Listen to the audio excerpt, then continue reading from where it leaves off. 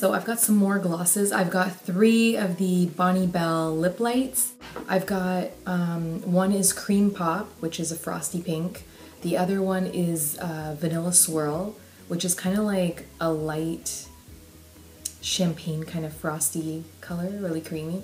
And the last one is super duper popular. This one is Strawberry Parfait.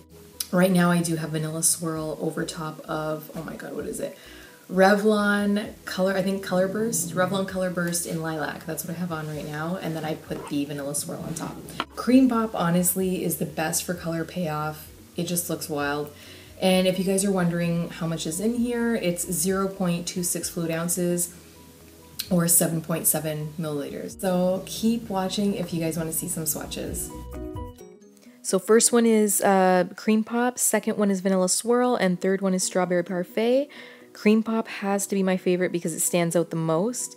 Okay guys, so thanks for watching that video. I am out of here. I just wanted to share that really quick with you guys. Oh, and for price, these were uh, $5.99 plus tax. So, I mean, they're cheap too. It beats going all the way to MAC and getting, you know, one that's like two, three times the amount. So, yeah, if you guys have any questions, just let me know.